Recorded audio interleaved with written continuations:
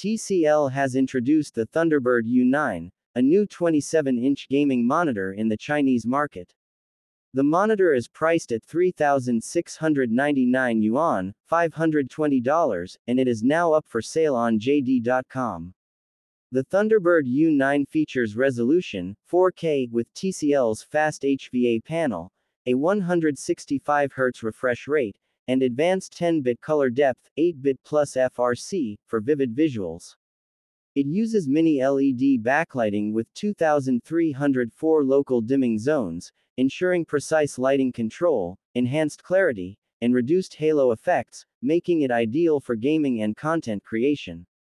The monitor achieves a peak brightness of 1600 nits and supports HDR 1400, allowing for stunning HDR visuals that closely mimic natural light.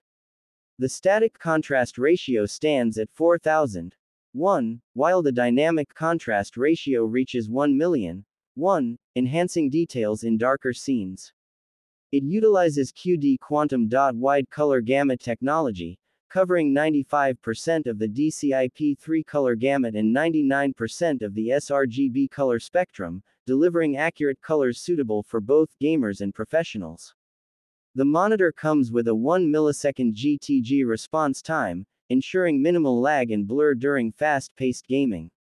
It is compatible with both FreeSync Premium and G-Sync, allowing for tier-free gaming across a range of devices. It also has two X3W built-in speakers. In terms of connectivity, it includes two HDMI 2.1 ports, a DP 1.4 port, and a USB-C port with 90W power delivery and display stream compression DSC for high-resolution connections.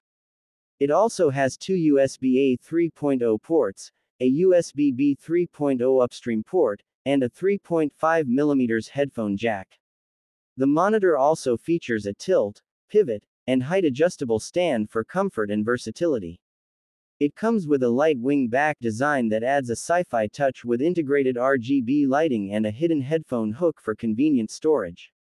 The Thunderbird U9 includes a KVM switch for controlling two PCs with one set of peripherals. It supports picture-in-picture PIP and picture-by-picture PBP modes for multitasking, along with two low blue light modes for eye protection during extended use.